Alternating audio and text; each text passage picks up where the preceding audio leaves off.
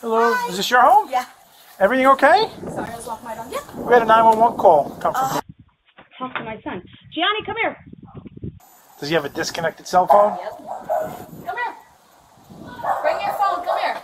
He honestly doesn't even know what 911 is. But Yeah. I'll explain it to him. It's not a problem. did you call this gentleman? You called the police? No, why did they give him a hug? You called him to give him a hug. What is? Let me see if it was here. Yep.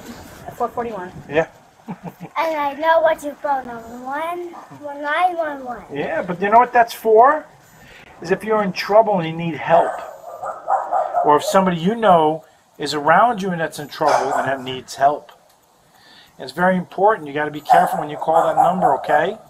Okay. Only in emergencies, and if you're hurt or someone else is hurt and your mom needs help, you know, someone's doing something they're not supposed to do, you give us a call, okay?